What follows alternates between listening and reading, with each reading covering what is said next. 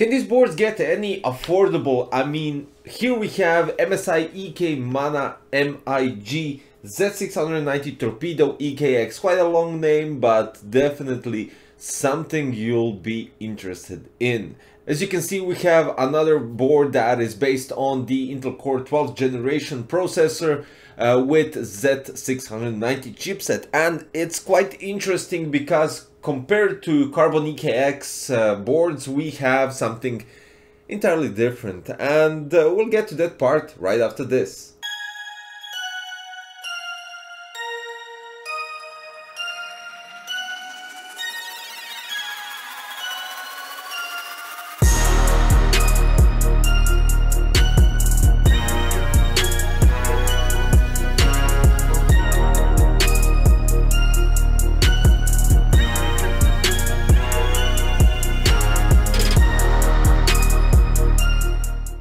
Right here we have the monoblock uh, and it's quite interesting because this is the thinnest monoblock I have ever seen and uh, it's quite interesting in few terms. Now as you can see this board compared to the Carbon EKX already has a passive heatsink on the VRMs and this monoblock actually complements it because you don't have to remove any of these you just place the monoblock on top of it and that additionally cools everything this monoblock right here is something I would say a bit of advanced compared to the others just in terms because you don't have to remove the heatsink and gives you I would say a possibility if you decide to currently run it with some AIO or uh, air cooler, you can do that before the other parts for the liquid cooling arrive so you can place the monoblock. Now this monoblock is compatible with Matrix 7 which I already explained in the Z690 Carbon EKX which gives you a,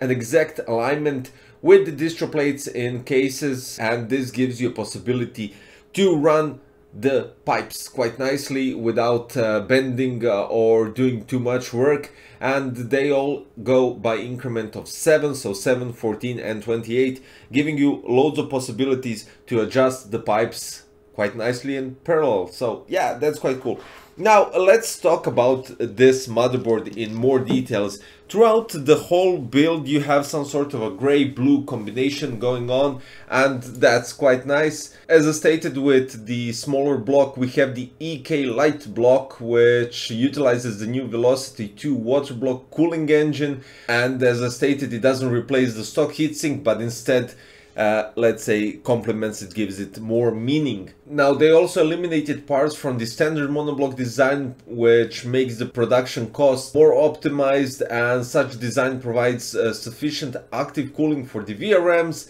enabling this motherboard to compare it with higher class. Also the base of the monoblock is made out of nickel plated electrolytic copper while the top is made out of quality CNC machine cast acrylic glass material. Now there's also one thing, the monoblock has a 3-pin addressable RGB header, so it lights quite nicely. Talking about the motherboard, we have the MSI MAG Z690 Torpedo, which features 16 plus 1 plus 1 duet rail power system with digital PWM IC and 16 duet rail power system with uh, 70 ampere smart power stage. Make sure that system runs smoothly we have a 6 layer PCB board with 2 ounce thickened copper and the PCIe steel armor protecting uh, your graphic card against bending and EMI for better performance. On two M.2 slots we have the M.2 shield Frozr which uh, keeps the temperatures of your M.2 stable and prevents uh, thermal throttling. You have the possibility to fully control your fans in BIOS and software then we have the Frozr AI cooling, which detects CPU and GPU temperatures and automatically adjusts the fan duties, which is quite nice. And we also have Pump Header Ready, which is optimized for water cooling.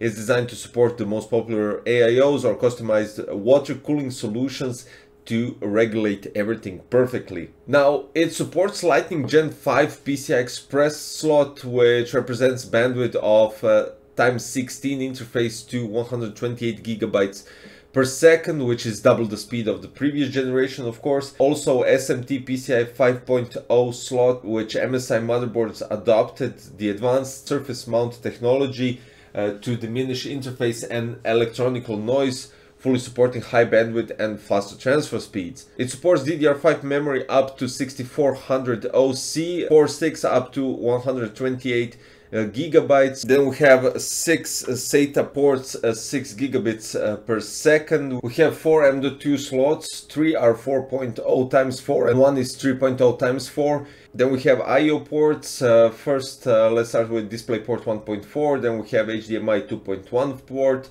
two USB 2.0, we have USB 3.2 generation 1 5 gigabits per second type A, two of those, we have also flash BIOS button, then we have USB 3.2 generation 2 10 gigabits per second type A and USB 3.2 generation 2 times 2 20 gigabits per second type C, 2.5G LAN port and last we have HD audio connectors. Now taking into consideration that we have a monoblock that can be placed on the motherboard quite nicely and quite easily without any problems, cooling the VRMs and everything uh, even though you already have passive heatsink and with the price and everything they lower down compared to the Carbon EKX this is a quite nice budget motherboard for water cooling I would say. And especially with everything that you get inside the box it's quite nice. Now uh, talking about uh, connectivity as I already stated you have one RGB header and three addressable RGB headers, two 8 pin for your EPS for your processor, one 24 pin